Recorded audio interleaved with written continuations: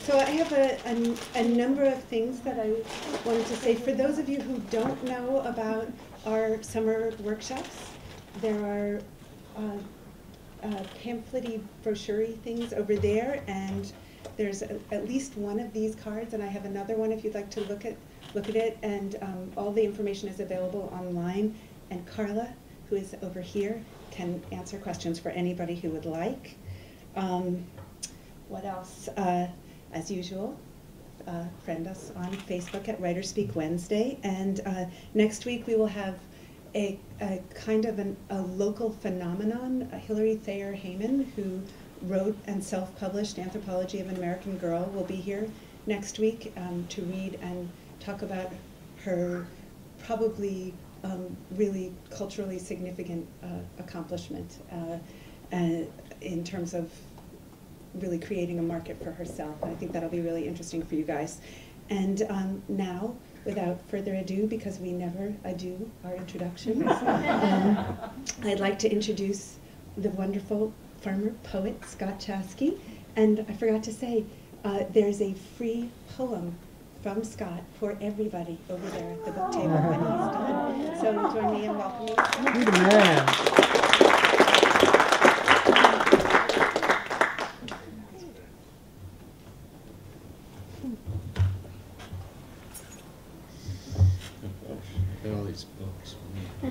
down here.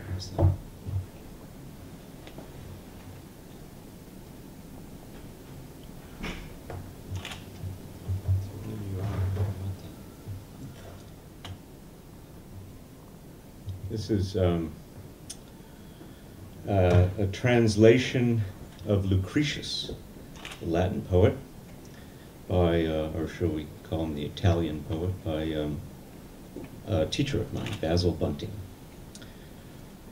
Darling of gods and men, beneath the gliding stars, you fill rich earth and buoyant sea with your presence. For every living thing achieves its life through you, rises and sees the sun. For you, the sky is clear, the tempests still. Deft earth scatters her gentle flowers, the level ocean laughs, the softened heavens glow with generous light for you. In the first days of spring, when the untrammeled, all renewing south wind blows, the birds exult in you and herald your coming. Then the shy cattle leap and swim the brooks for love. Everywhere, through all seas, mountains, and waterfalls, love caresses all hearts and kindles all creatures to overmastering lust and ordained renewals. Therefore, since you alone control the sum of things, and nothing without you comes forth into the light, and nothing beautiful or glorious can be without you, Alma Venus, trim my poetry with your grace, and give peace to write and read and think. That's Lucretius.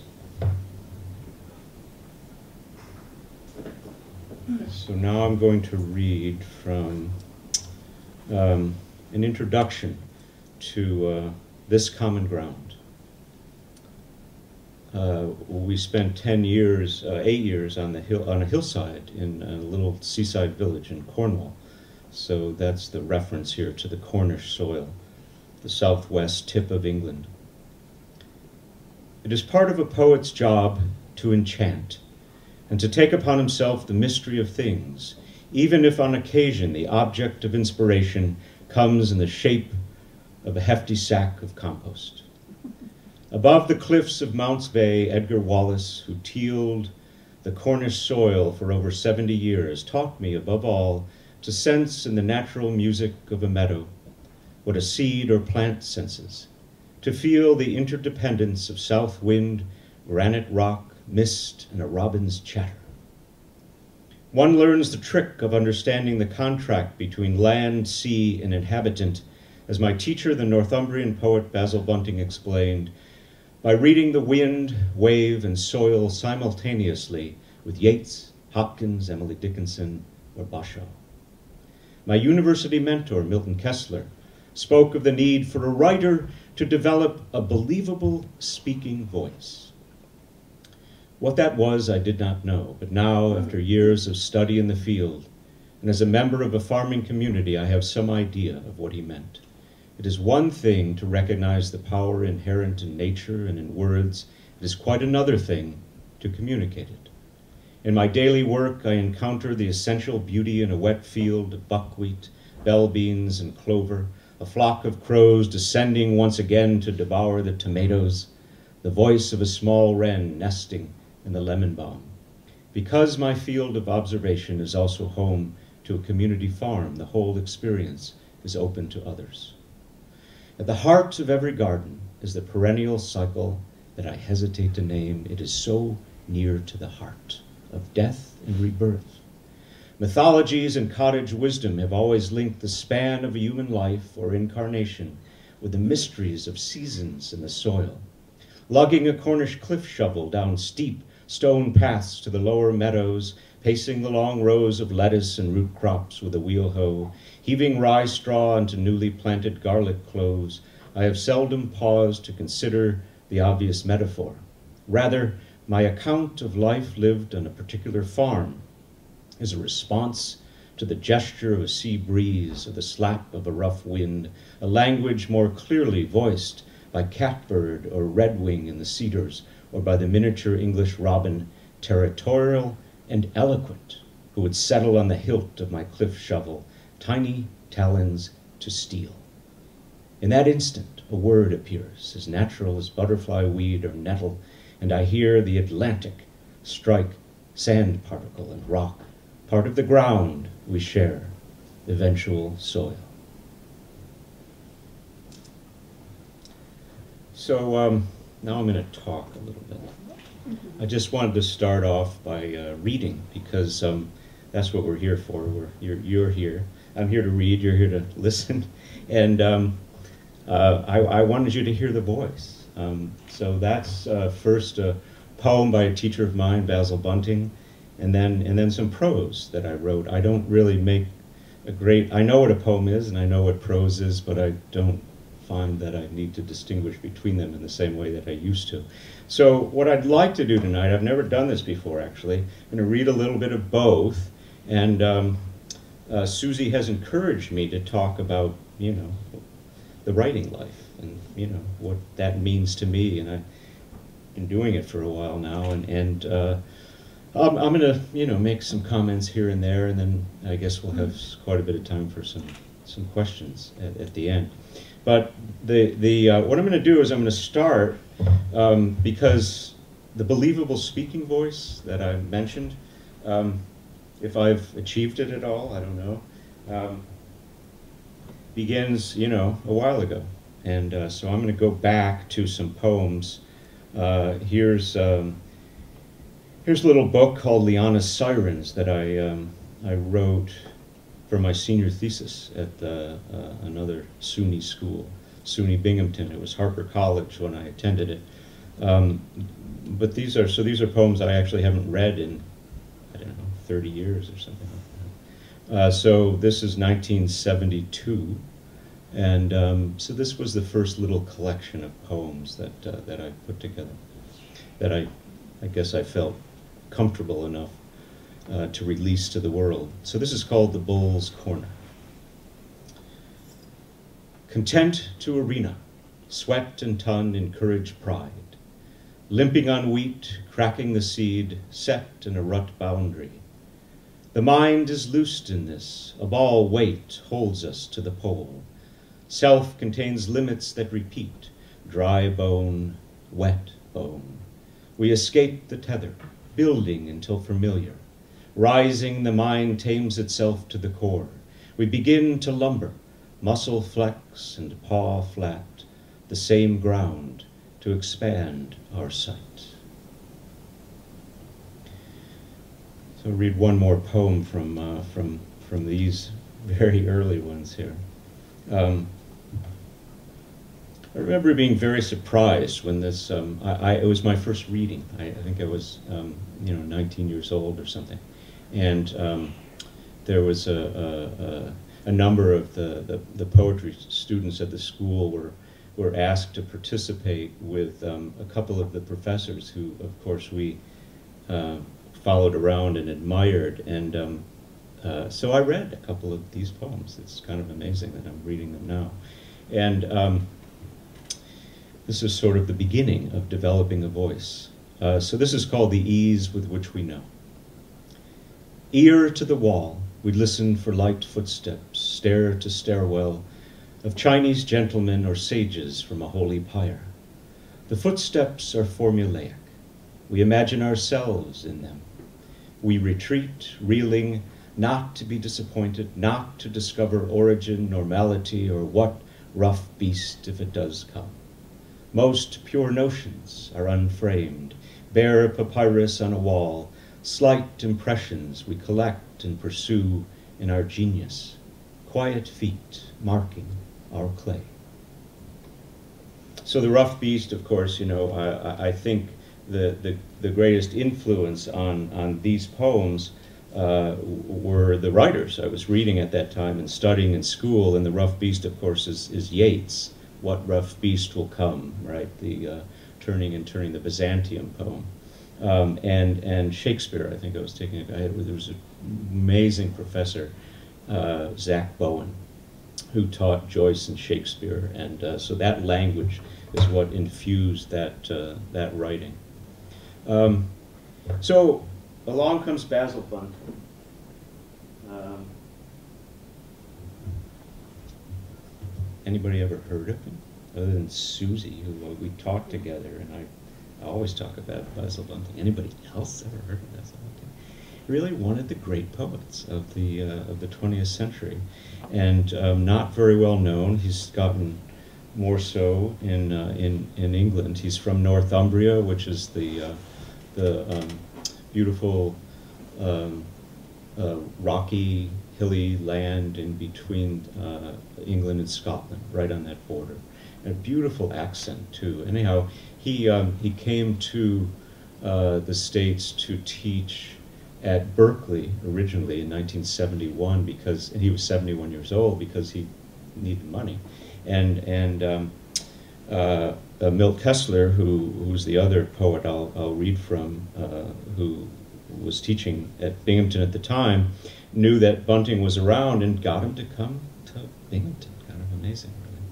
So um, he's had a tremendous influence on on my uh, uh, poetry and you know my view of the world, everything since meeting him as a as a 19 year old. I, I hardly ever spoke to him because I didn't quite have the courage, but I followed him around a lot. I used to walk behind him on the campus, and. Um, so I'm going to read. Uh, I found this as I was like looking through things to read for this um, this evening, so here's something I found. Uh, this was the class that Basil Bunting taught, and it was called Rhetoric 158 Form and Theory Readings for Writers.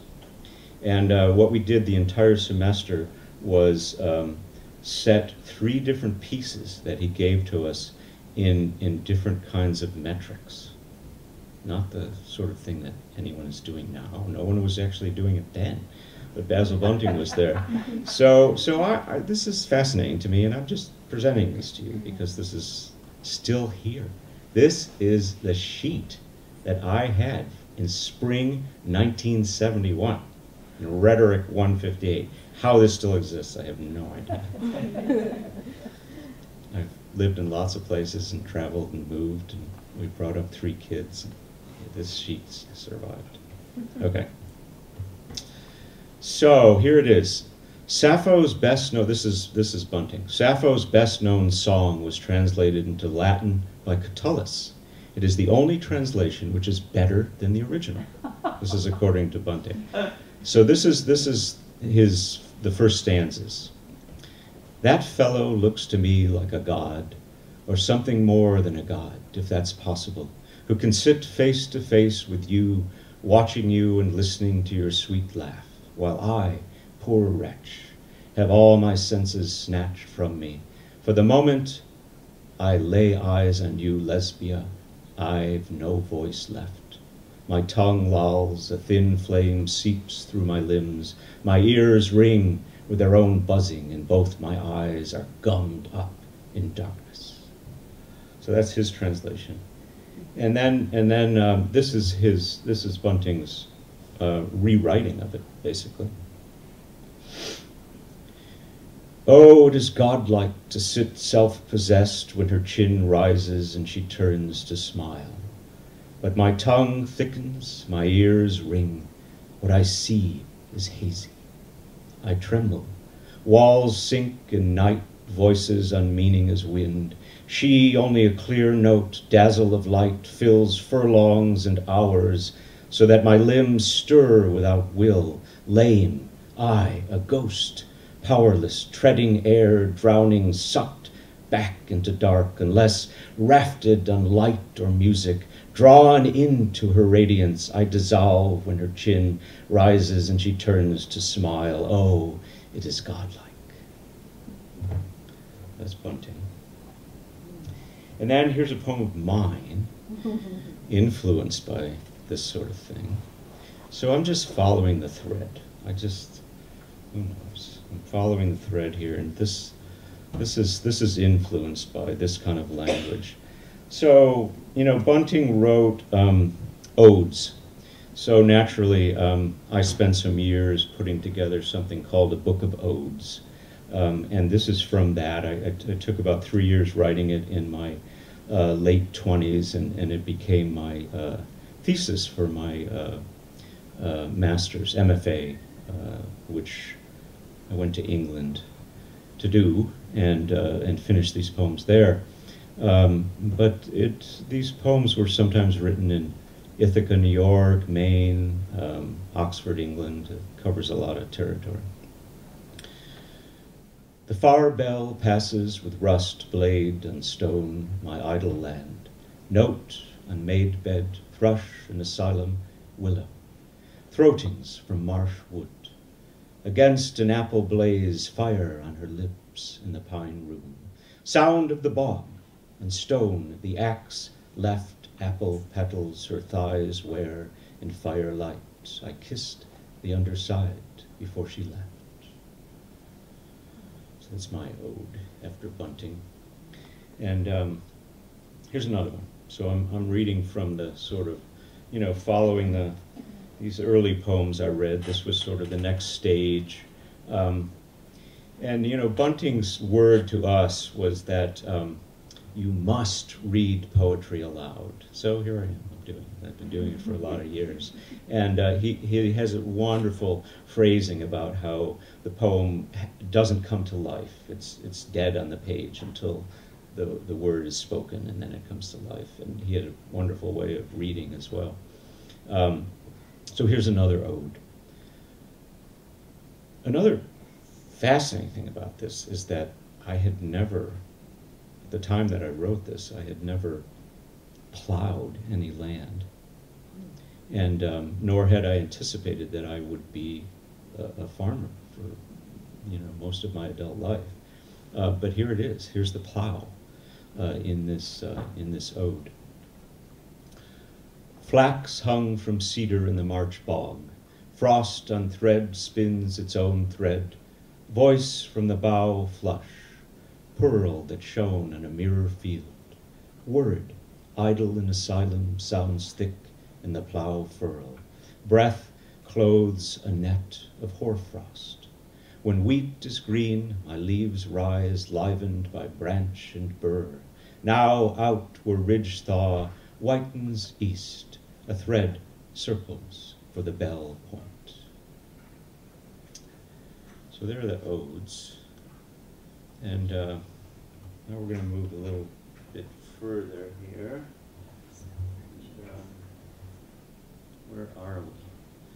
I think we're up to um, the influence of Milton Kessler, um, who uh, was my teacher before at, at Binghamton before Bunting, and um, who, who remained just the, the closest of friends. Uh, our families were intertwined for uh, 30 years or so.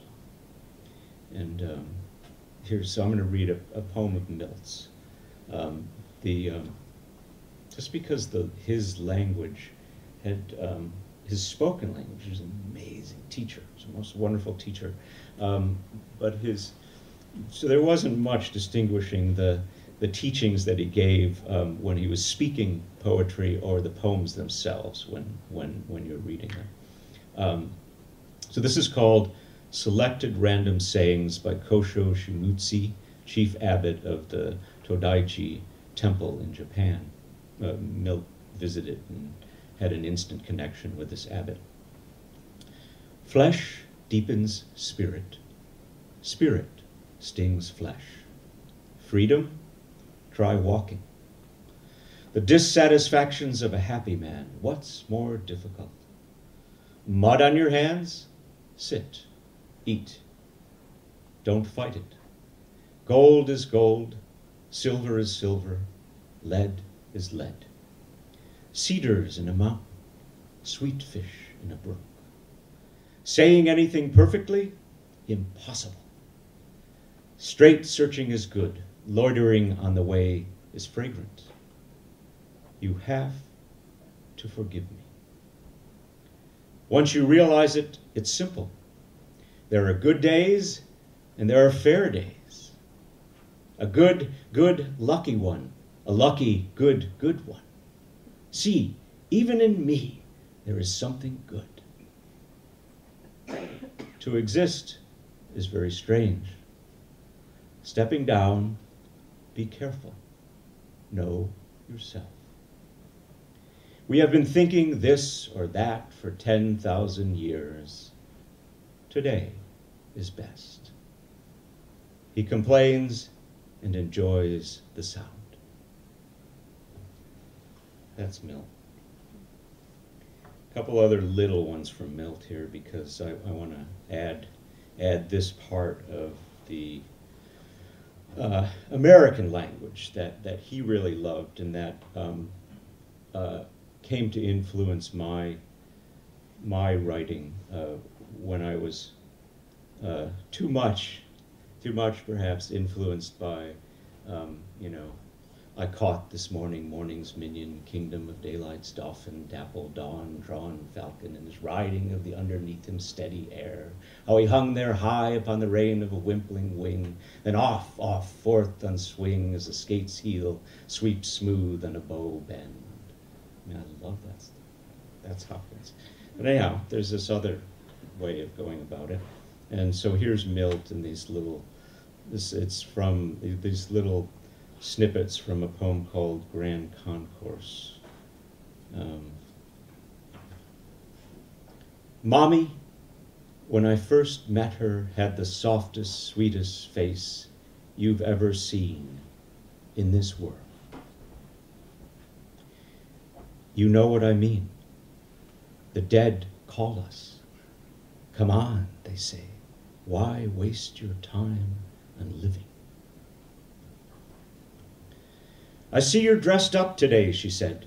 No, these are my usual clothes, he said. I tucked my shirt in, that's all. It's the way I am. I just have a dressed up look. a dressed up look, she said, leaving. See you later, he said smiling.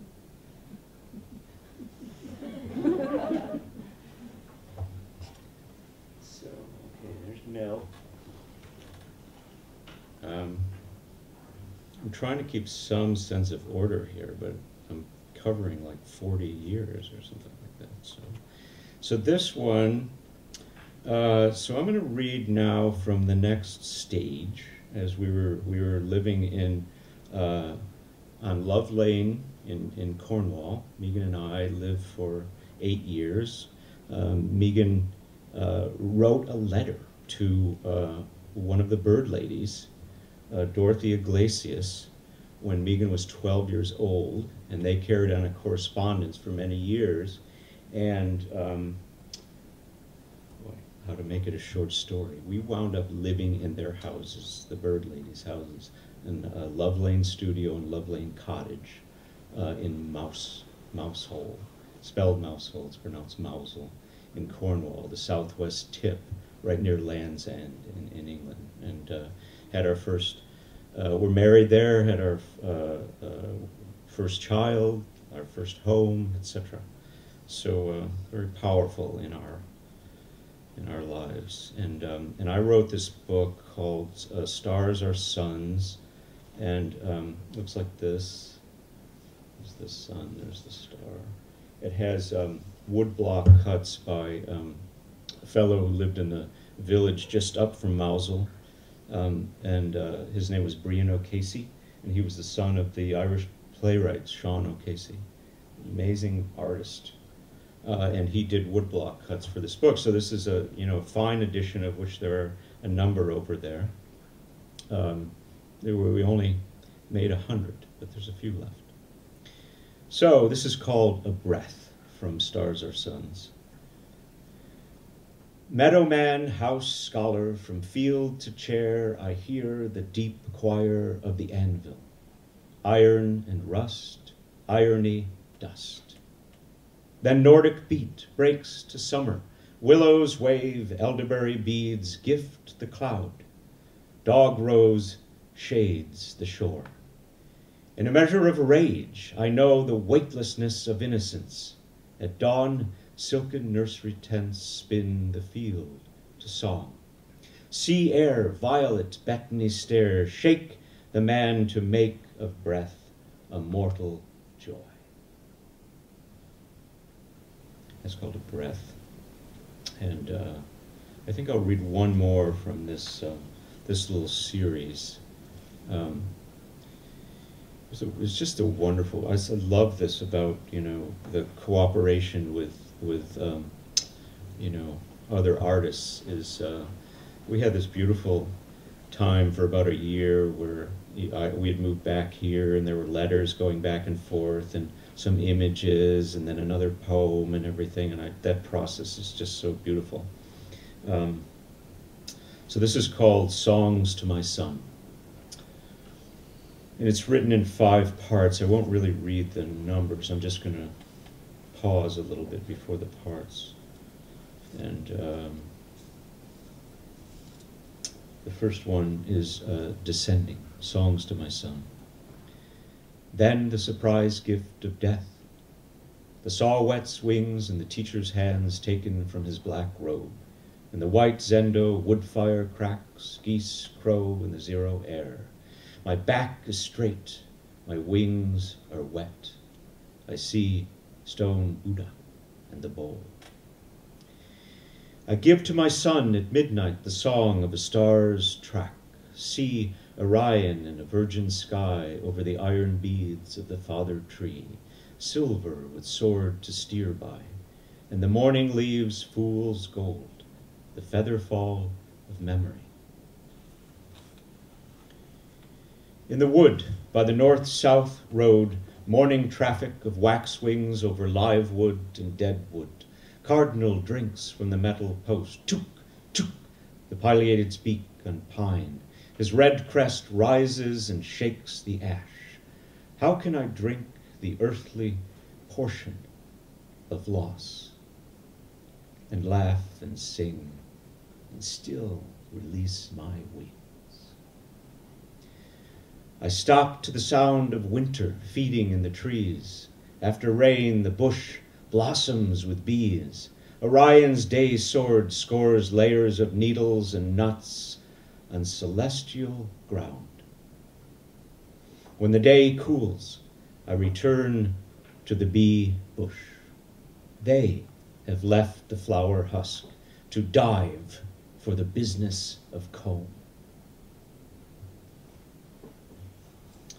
All right, that's the next stage. Um, I think now we go here. So now I'm going to go to some poems written after we. Um, well, no, here we go. We've got a couple that sort of span the time frame from England to returning to returning to this country, and. Um, and then up, up to the present. This is sort of a foundation one. This is um, because the um, uh, it, it, it speaks about what poetry is, um, the work of the eyes and of the heart, and this reference to I am infinitely in the open is, you know, the singer, the eternal singer Orpheus, and um, and his statement, the statement of the eternal poet, is I am infinitely in the open. That's a good thing, but you know, try getting through life being infinitely in the open. so this is called the wren. My good luck charm, the white, wailing, teeth-bared bone hyena, wears on his back the purple petal of May from the west country hedge as he stands in a drift of picked flowers and teak between seeds, songs, and hope abandoned. Like the wren in the perfect circle of her house under my house, I ask the companion's lightness and burden to nest inside, wings and music. Here, inseparable by conduct from poetry, the work of the eyes and of the heart, I am infinitely in the open. The black thorn hedge floods with spring weight, and in my room the things I am blinded by release to melody, sky. That's the wren. Here's another one that goes along with this, and this was written for uh, a Zen monk, uh, Hans Håkansson, who was a most wonderful uh, woodworker and, and monk. Uh, lived in the northwest woods. When we came out here, he had the um, he had the sticker on his car that said "The Northwest Woods, the Last Stand," and Hans was one of the first ones there. I think. It's called the Wheel. My secret self I build within will not sing today. She is tired of the mask of maker, and she or he would like to drift in the still of space. Listen, how will I know what I was not when I come to myself? As I ask you this, we possess a labyrinth. I say, I was that shadow. And these words harmonize under a canopy of sky created by audacity. That's a word that I attribute to Pasternak. I can't remember where it is, but somewhere in a Pasternak poem, he, he ends with that audacity, and uh, he certainly had it. Um, it's a wonderful word. Um, here's one. Um, this was written for um, my father-in-law, Bill King, who's a sculptor, and uh, uh, I read at his wedding, actually, to my mother-in-law, Connie Fox, who's a painter, Megan's mother. And it's called Myriad Things, and it really comes from a wonderful, wonderful phrase. Oh, oh I, I, have it. I've got it. Um, by, um, by the 12th century Zen Buddhist philosopher Dogen, who said, to advance your own experience unto the world of phenomena is delusion. When the world of phenomena comes forth and experiences itself, it is enlightenment. That's not bad, huh? 12th mm-hmm. century, how about that? That's Dogen. So this, this, I read that because it happened, you'll see at the end. It's called Myriad Things. Here there is a balance an embrace of space just over the shoulder, or the vivid emptiness an open palm reaches to touch. But these animate figures still define space, as mind, trusting to the luck of a body, can present to time the intimate, essential mystery of a thought. Looking up, these figures of paper, wood, bronze, beeswax, chiseled, cut, sewn, carved by a man, ask our imagination to laugh. Look, here, space is awake with the sculptor's words of oak and balsam, plastic, Tyvek, steel, aluminum-made fluid, the elegance of Paris in burlap evening dress, a Cornish peasant of clay, reading the waves of the sea, a copper Buddha under the Bodhi, awake with things that come forth through him. Let them come. So that's uh, And he does. He lets them go. A lot of. He's an amazing guy. We just celebrated his 87th birthday. And he's out there every day in his studio. Um, so maybe, maybe one or two other little poems. Um, how, how are we doing with time? We're okay. I want. I'm going to finish. I'm going to read one or two poems, and then I'm going to finish with um, this little bit of prose. I'm working on another book now, and I thought, well, I just wrote this a week ago or something, so I should just finish with that. Um, this one is called uh, Cerulean. Out in the fields of Amagansett. As a breath above winter grains, the sharp shinned hawk dives from a locust post to glide over rye and oats. Roots of umbellifera reach into cool clay. Against the dry hedge of wild berry vines and bittersweet, the cerulean flash of a bluebird. This landscape is simplified within earth's spin, not the lisp of leaves, but the bass note of bark. In boxed hives and hollows, Apis mellifera survive on the nectar of aster and goldenrod, transformed and capped in waxen cells, food for the queen of inscape, part of the golden language of renewal. The sun's breath above winter grains lights the hawk's wings, and yes, the wings of workers within the hive. Rye survives the frosts, and sky takes on the color of a bluebird. So maybe I'll go to that, that last bit of uh, that last bit of prose now here. You're gonna have to ask me some questions because I haven't talked. I was supposed to talk more. I'm just reading, so you have some questions.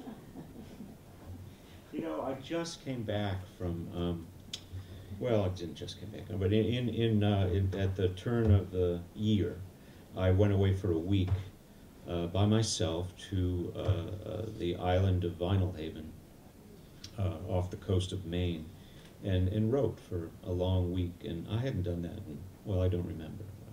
I did that. It was because I've been working on this book called Seed Time for um, um, a couple of years, and I just it's just hard to I'm just the kind. Of, I'm very slow at writing, and I, I, I need some time and space, and um, to find that collective time and space is not the easiest thing. So, um, you know, I went to this island, and um, one thing I found there, which I, I think may be one of the most important things I'd like to pass on about the writing life, is that you know, it's such hard work, quite honestly. So I've been, you know, uh, farming on steep cliff sides and Cornwall and you know uh, running a community farm out here for 22 years. There's 700 people that come to the farm two days a week and say, "Where's the cauliflower? And where's the lettuce? And where's the garlic?" It's a wonderful community. It's a lot of work. It's a lot of hard work. Writing is the hardest work I have ever done. All of that taken into account, all the carrying and hoeing and riding of tractors and all that. Writing is the hardest work. However, when I was spent this week in Maine, some I turned over some new leaf or uh, some new needle of spruce might be the better way because I walked in these spruce woods, beautiful spruce woods, um, every afternoon.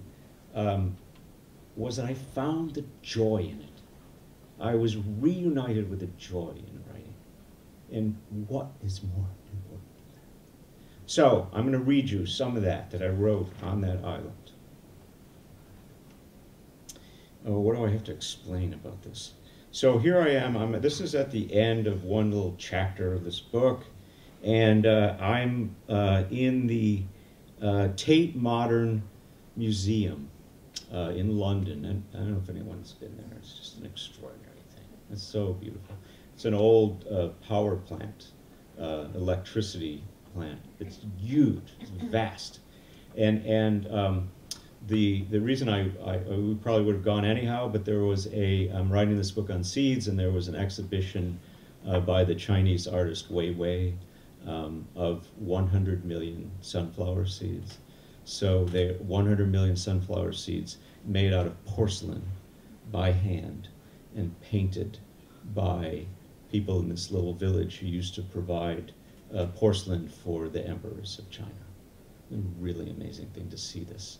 So that's what I'm writing about when I'm talking about the sunflower seeds here. Um, okay. I pasted it off. 100 million sunflower seeds spread 6 to 12 inches deep occupies floor space roughly 200 feet long by 70 feet wide. Each porcelain seed was hand painted in jing Jingdezhen with a thin brush, two strokes per seed, as nature paints the seed husks of Helianthus. Wei Wei's statement is not subtle. Imagine the weight, the transport of millions of clay seeds to the Tate Modern. I'm reminded of another line by London's William Blake Eternity is in love with the productions of time. Looking down on a floor filled with seeds in the heart of London, I question what the writer Barry Lopez refers to as our distance, both real and imagined, from the natural world. The thread that connects us is delicate.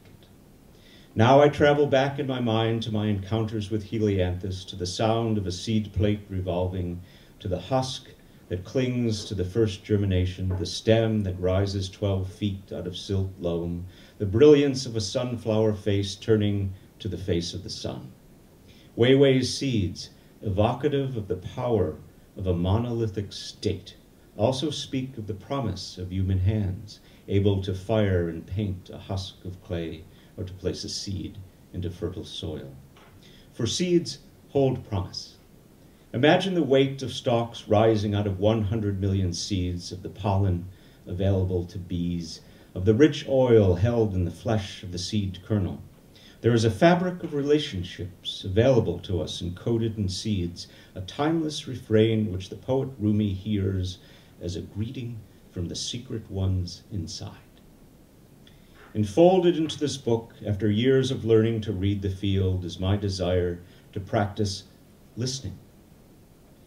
If you are as rooted as a Mongolian giant sunflower is, or as a bending alder in a meadow, or as a bristlecone pine in mountain gravel, Rumi reminds us the branches of your intelligence form new leaves in the wind of this listening.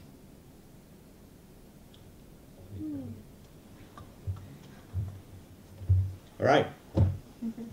now we can have questions. Um, I'll start.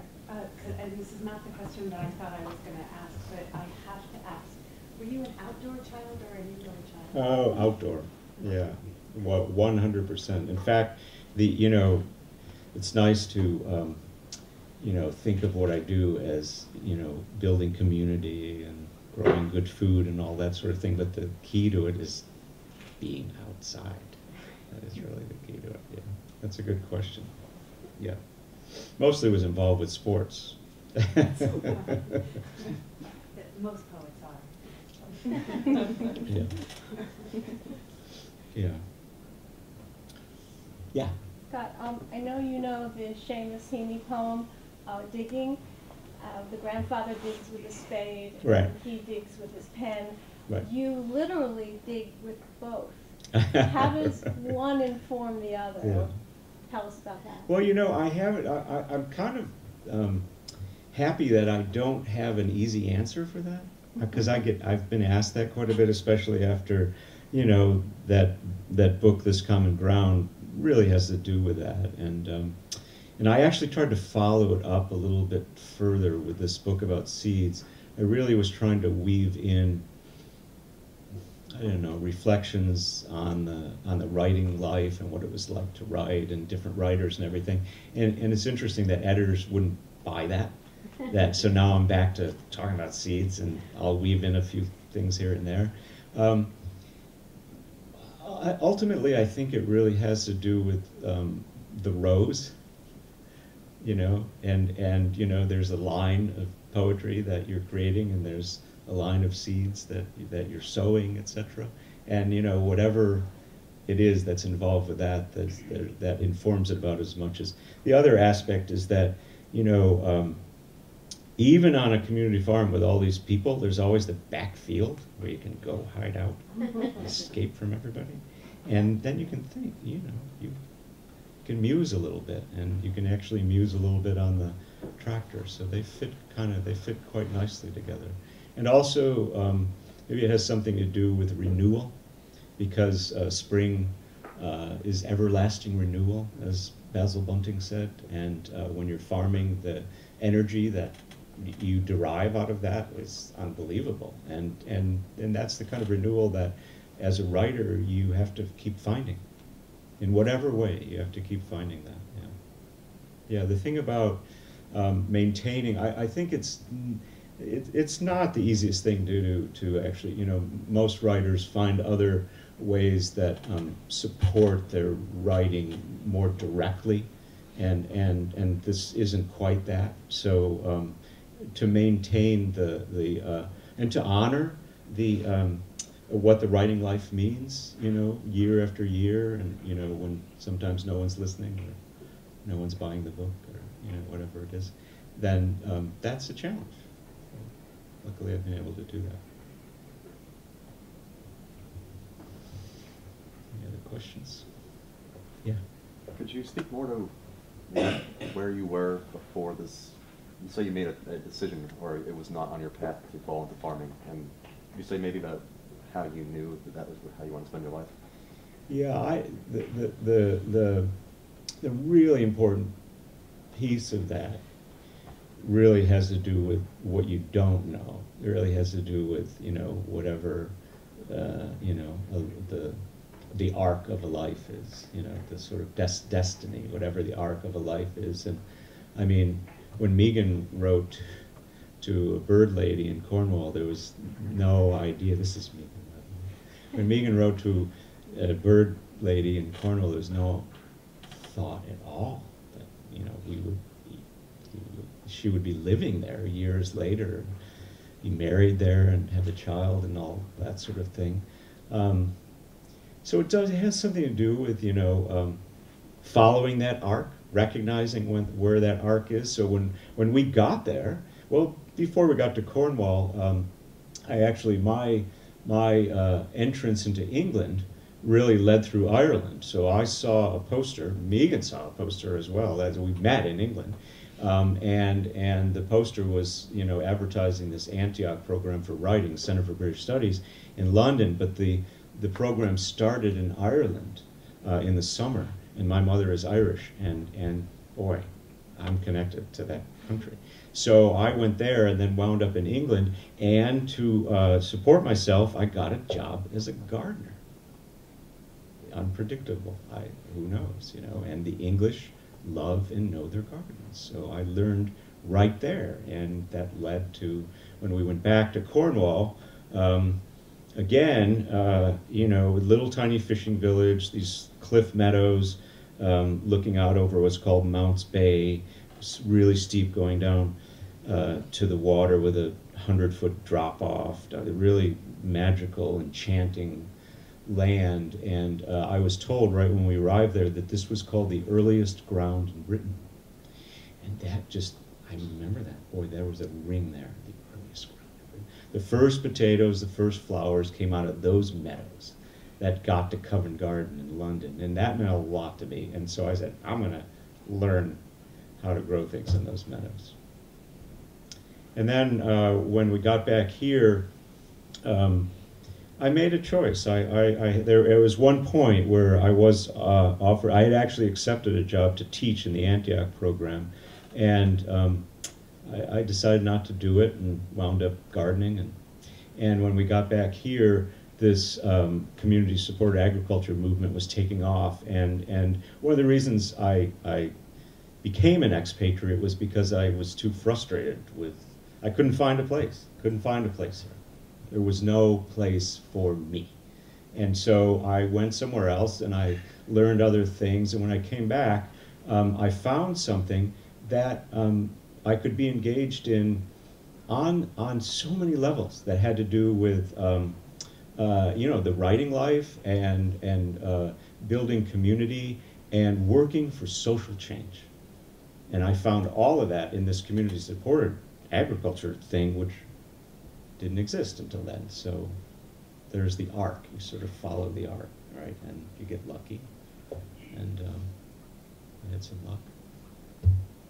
Thank you. That's a great question. Yeah. I always have more questions. Um, it's interesting to me that your, your poetry is not very political, but your life is Mhm. sort of political. hmm Um, it, it has a political stance. I Yeah. Is that conscious, or is that just what subject matter? I've tried. I, I don't seem to be able to do it. I've tried actually to write some sort of, you know, protest poems and, or, you know, anger at, you know, the, the next atrocity. Or, I've tried that actually. And, and I read newspapers. And, um, and I'm aware of it all, but uh, so I've actually found I can't do it. I don't know. I, it doesn't sound right to me, and so and I'm not really a nature poet. If you ask me, I'm I, I'd say I, it's not what I am at all. Um, but um, I found another way, you know, linking into this sort of idea about living a life where you can you know, take part in the social change that you hope to hope to, you know, to encourage. Uh, you know, I've served on um, a number of boards now. I've been a founding board member a couple times, an organization in Vermont called the Center for Whole Communities. Uh, now I'm a founding board member on Sylvester Manor Educational Farm in Shelter Island, and I was the president of NOFA New York for five or six years or something like that. I've been on that board for like 10 years. And, and I can influence the things that, I can do that. I can't, if I'm writing protest poems, uh, they're not going anywhere for me, but I can influence the kind of change that I can see it. I can see the, I can see how to do it, and I can see a possible result, and and um, that means everything to me. So, yeah. Yeah. Is your writing life regimented in any way? For instance, do you have a specific place you write or a specific time Yeah. Yeah, thank you. Um, so when I lived in England, uh, w- when we had this studio, and I had a, a I built a, a table desk, and looked out over the water. I'd go there and I'd write every morning, and you know. But this was before children, and, you know, need to, you know, pay for school and more mouths and all that sort of thing. So. Um, so then it's just wherever I can do it until, and I actually finished the the um, the first book, I, I, I, I, found a reg. So I, the, the, the quicker answer is just I'm able to find a regimen. I mean, I, I, I said for a year I have to have a week to finish this sort of proposal and first bit of this book, and it took me a while to get there, but I did it. I, I had a week and went to the place in Maine. Uh, but the first one I, I wrote for an hour at the end of the day, at the farm day, after everyone left and it was, and I was just there in my um, uh, in my office, and I said, okay, I have an hour before I go home, and I, I'd write for an hour. So yeah, I mean, it's really important. You just have to make some sort of routine, and and it's. I think the important thing is that it's going to change. It's not always going to be the same routine. Well, maybe some people. I mean, I know that who who is it? Was it Ruth Rendell who has written like more books than anybody has ever done, and she writes for five hours every morning if she's still alive. I heard her some story about this a while ago. You know, she sits down, and writes for five dou- five hours every single morning for her entire life. Yeah. Scott, are your children writers or farmers? Oh, they're great. Our kids. Um, they are boy. They're they're sort of taking off in their own ways. No one's gonna farm, I but I didn't get to it till later, so you never know. But our older son is back here, uh, and he's work, he's involved with uh, filming and editing at, at, at the Ross School. And our daughter is uh, studying arts and communication, and started with photography, and she's in London. And our younger son um, had uh, just did his senior project, which was an amazing uh, collection of paintings. He painted. Um, surfing is his other love, so he painted about the ocean, about surfing. So, and, and his what? You have to add that he wrote poems. He We were wrote Totally poems. surprised. Of course he wrote question. Anyhow, he put the whole thing together. It was really beautiful, and uh, you know, well, they can't. I, who knows what they really? Well, they they've been very nice to us. They've been saying some nice thing to us recently. But they grew up in a, you know, with two poets as you know parents, and and their um, grandparents that live here, a sculptor and an artist, and you know, it's kind of they're kind of they're kind of used to it, and they're amazing kids. Three of them.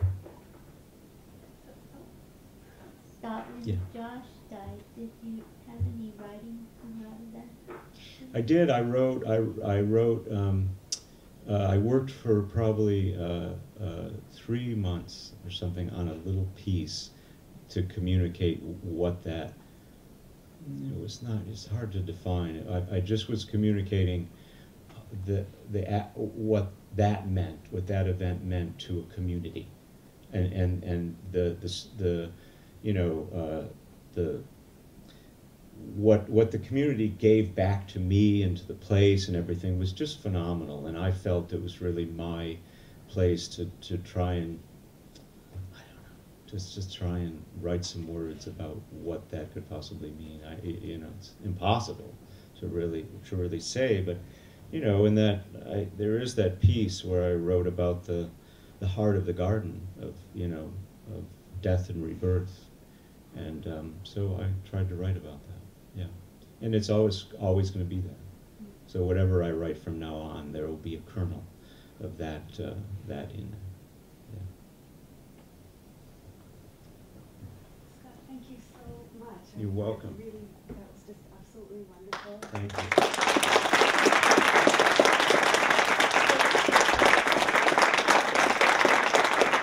Scott will, Scott will be signing copies of his book about the farm, his common ground, and he also has a couple of, that, uh, copies of the beautiful. Yeah, and for those- poetry. Right, and for those people who um, don't have spare money in their back pocket, there's a free poem. And that's true. And he will sign the free poem without charge. So, Thank you so much, Scott, that was great.